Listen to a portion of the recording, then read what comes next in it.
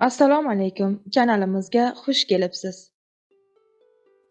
Vijdon azobi. Hayotiy voqea.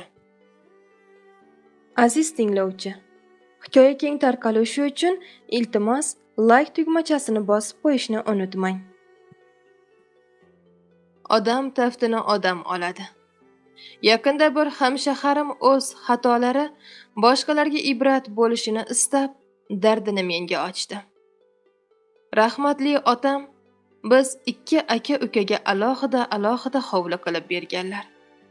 Men tijorat bilan shug'ullanib tez orada uy joyimni zamonaviy uslubda ta'mirladim. Qimmatbaho mashina ham oldim. Qurilishda oddiy g'isht teruvchi bo'lib ishlaydigan akamning topganlari asosan ro'zg'or tebratishga ketardi.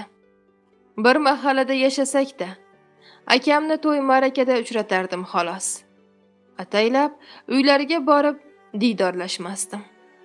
Sababi aziz tinglovchi iltimos shu birgina layk tugmachasini bosib qo'yishni unutmang. Bu biz uchun va kanalimiz uchun katta ahamiyatga ega. Sababi mendan qarz so'rashlardan cho'chirdim. Akam katta qizlarni uzatganda mehmonlar qatori bordim to'yona bermadim ikkita o'g'il jiyanlarim maktabda a'lo baholarga o'qishgan bo'lsa-da, oliy o'quv yurtiga hujjat topshirishmadi. Chunki kontrakt asosida o'qishga to'g'ri kelsa, bunga imkonlari yo'q edi. Ular o'qish va uylanish xarajatlarini ishlab topish uchun davlat tashkilotining hujjati bilan chet elga ishga ketishdi. Bu orada mening ishlarim yana ham rivojlanib xususiy firmamni ochdim. Begonalarni ish bilan ta'minlab o'z jigarlarim boshini silamadim. Umrlari og'ir mehnat bilan o'tgan akam biror marta ham mendan moddiy yordam so'ramadilar. Bu holat menga ayni muddao edi. Keyin akam tez tez kasal bo'ladigan bo'lib qoldi. Bu to'g'risida xotinim qo'shnilardan xabar topardi. Men esa o'zimni bilmaslikka olardim. Dardlari tobora og'irlashdi. O'sha paytda mahalliy shifokorlar akamni chet elda hindistonda jarrohlik muolajasi bilan davolatish mumkinligini aytishibdi.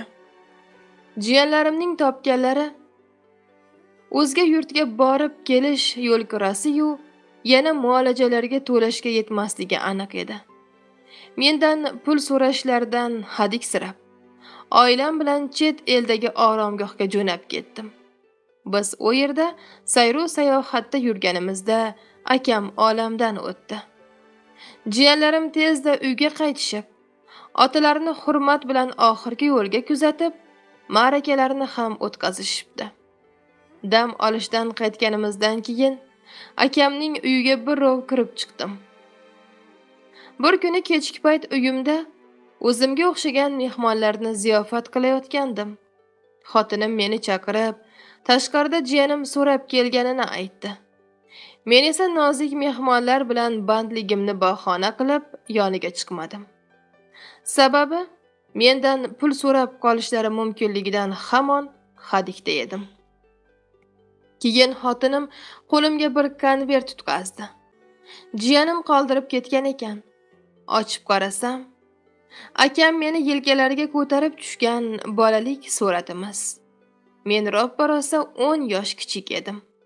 Hamda ikki yillik maktub. Ukajon. Rahmatli ota onam yagona jigaringga o'zing ota onalik qil.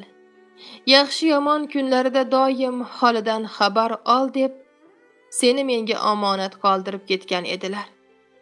Men qo'lim kaltaligi sababli senga yordam bera olmadim. Endi seni yolg'iz Allohga omonat qoldirib ketyapman. Ota onamizning ruhlari rozi bo'lsin. Seni har kuni besh mahal namozlarimda duo qildim. O'sha lahzalarda boshimdan go'yo qaynoq suv to'kilgandek bo'ldi. Boyib ketishim to'kin farovon yashashimga akamning duolari ham sababchi bo'lgan ekanda o'sha kundan buyon ruhan ezilaman. Ichimda tuganmas bir azob. Endi uyimdagi barcha hashamlar to'kinliklar ko'zimga o'tdek ko'rinadi. Yaqinda bir amri ma'rufda domlaning qarindosh urug'chilik haqlari haqidagi ma'ruzasini eshitganimdan buyon aslida oldin ham ko'p eshitganmanu beparvo edim. Dardim dunyoga sig'may qoldi. Qiyomat kuni ahvolim nima bo'ladi? Men suhbatdoshimning aytganlarini orttirganim ham kamaytirganim ham yo'q. Alloh hammamizni gunohlardan asrasin. Tavba qilganlarga rahm etsin. Avvalo bu dunyo davlatiga mahliyolik sabab ikki dunyomizni boy berishdan asrasin. Tamom. Muallif noma'lum. E'tiboringiz uchun rahmat. Bu boshqa hikoya. Ikki yigit sohil bo'yida o'tirib kechki taom tanovvul qilayotgan edilar. Yonlariga kelib ovqat qoldiqlarini terib yeb yurgan bir kampirga ko'zlari tushdi. Qari kampirdan qorningiz ochmi? deya so'rashdi. Kampir esa ertalabdan beri shu yerdaman. Biror narsa yemadim. Meni bu yerga o'g'lim olib keldi. Birozdan so'ng kelib olib ketishini aytdi dedi. Kampirga ovqat yeguliklar berdilar. Tun cho'kkach narsalarni yig'ishtirib ketishga tayyorgarlik ko'rdilar. Vaqt allamahal bo'lib qolgan. Kampirni bir o'zini tashlab ketish ham yaxshi emas. Yigitlardan biri sizda o'g'lingizni raqami bormi? Telefon qilsak. Shunda kampir ha raqami yozilgan varoq bergan edi. Qog'ozda esa kim bu kampirni topib olsa uni qariyalar uyiga olib borsin deb yozilgan edi. Yigitlar bundan dahshatga tushdilar. Kampirni o'zlari bilan ketishini so'rab bir soatcha yalinib yolvordilar. Lekin kampir o'g'li olib ketishga va'da qilganini va hozir kelib qolishini aytib ularning taklifiga ko'nmadi. Farzandidan xavotir ola boshladi. Ikki o'rtoq o'g'li kelib olib ketishini behuda kutib o'tirgan kampirni qoldirib uyga qaytdi. Lekin ulardan biri uxlay olmadi. Kampirning qismati nima bo'larkin degan xayolda edi. Shartta o'rnidan turdi. Kiyindi va mashinasiga minib sohilga keldi. Sohilda tez yordam mashinasi va zobitlar bor edi.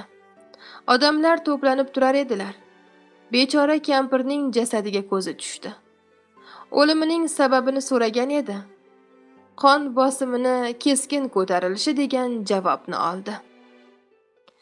Bu kampir farzandini o'ylab xavotirlanganini unga biror narsa bo'ldimikan deya qattiq qo'rquvdan o'lib qolganini tushunib yetdi. Subhanalloh shunday qalblar borki o'z ota onasidan kechadigan toshdan qattiq. Va yana shunday mehribon qalblar borki boshqalarning ota onasi uchun ham g'amxo'r. Allohim qalblarimizni musaffo qil va rizoyingga uyg'un bo'lgan amal va ibodatlar tomon yo'naltir. Tamom. Muallif noma'lum e'tiboringiz uchun rahmat. Kim sabrli? So'rashsa sabrli ayolmi yo erkak? Erkaklar biz deya ko'krak keradi. Hattoki bir zumga qurmasdan hayol. Ayollar sabrsiz deya kuladi. Hammani dunyoga keltirgan ayol. Sabrla to'qqiz oy ko'tarib yurib ayolni ustidan mazax qilguncha qani o'zing bola ko'rginchi tug'ib onangni avayla ko'tar boshingga. Duo ol qo'shilsin yoshlar yoshingga. Ayoling avayla ko'ngli to'ladi. Bir umr vafoli yoring bo'ladi. Singlingni ahvolin so'ragin har kun. Undan baxtli inson bo'lmas o'sha kun. Ona qizim deya erkala qizing sevinchdan ikkita qilmaydi so'zing. Ayolni qalbini og'ritmang aslo. U sizni foydangiz o'ylaydi doim. Aql o'rgatma deb bermangiz azob. Har bir qilmishingiz ko'rar Allohim. Ayol sabr qilar kutar kelishingiz. Yo'lingizga intizor bo'lib ko'zlari.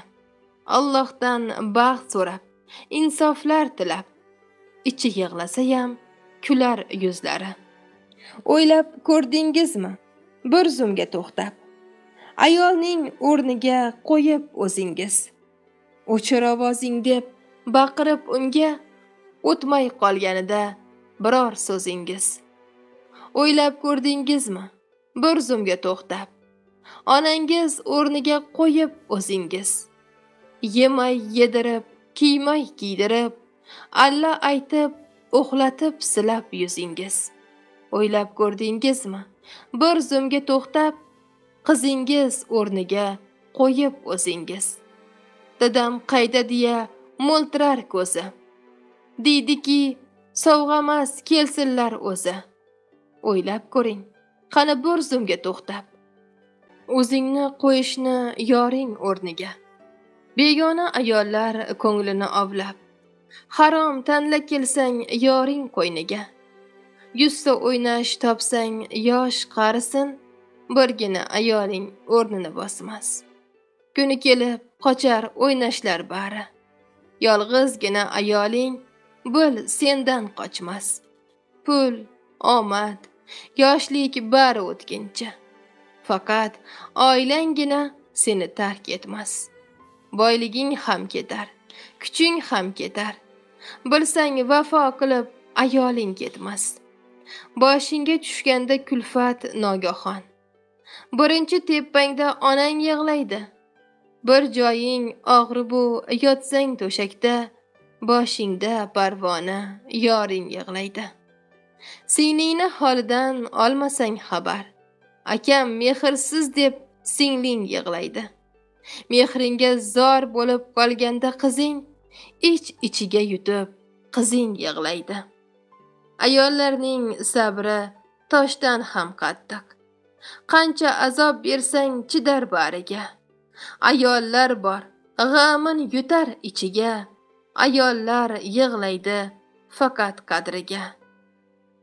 Tamom e'tiboringiz uchun rahmat. Ibratli hikoyalar hayotiy voqealar va kundalik hayotimizda uchraydigan voqealar to'plami faqat bizning kanalda. Ibratli hikoya kanali. Ibratli hikoya kanali. Tashrif buyuring va kanalimizga obuna bo'ling.